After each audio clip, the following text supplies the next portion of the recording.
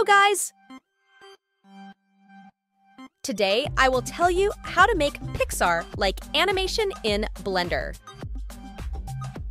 Well, there is a new render engine for Blender,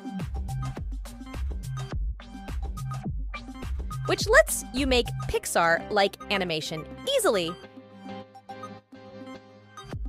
And it looks absolutely fabulous.